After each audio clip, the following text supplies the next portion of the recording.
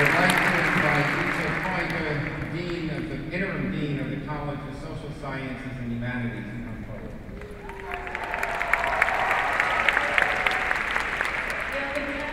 for the degree of Bachelor in the College of Social Sciences and Humanities. Please rise.